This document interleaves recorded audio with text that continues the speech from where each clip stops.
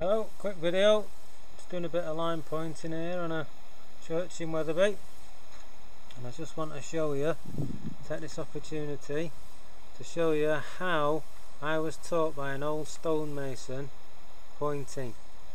Now, he told me, and he was 80 at the time, he's probably about 120 now, to get myself a stick. Got a stick with a bit of a dog leg in it and what you do is you take the bark off one side and you can hold it with your thumb and when it's at the right pressure right time and you can do it straight away really whenever you want.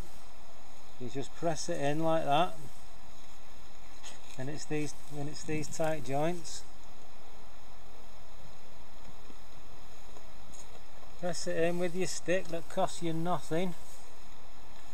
And he told me that's how the old boys did it years ago he also told me that lime mortar doesn't like steel so much. And you can manipulate it, work it, press hard on it. Taking the bark off it seems to be like the most important thing. You can work it in and when he's put that in then that's a bit soft. Then you can work that round or if you've got a little bit of a wider joint you can get yourself a bit of stick like that. I think this is a bit of a roof pattern but as you can see I've been using it. And you're just pressing it back. I think some of the NHL guys sort of use, I've seen them on videos with corks which is probably just the same as this. And a step up from the old stick.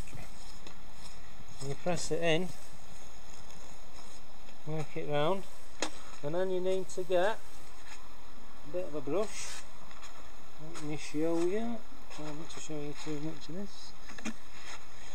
No brush. Now what a lot of people get a churn brush and they start whacking it back. Well that's just nonsense. All that you're doing is just brushing those bits off. Brushing any loose off maybe them bits there look. To brush them off or brush them in. Trying to it through the screen.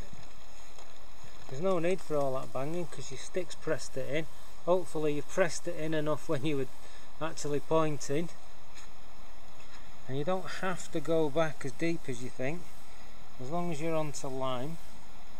You don't all this two times the joint and all that sort of stuff as long as you've actually gone back to lime that's going to do you.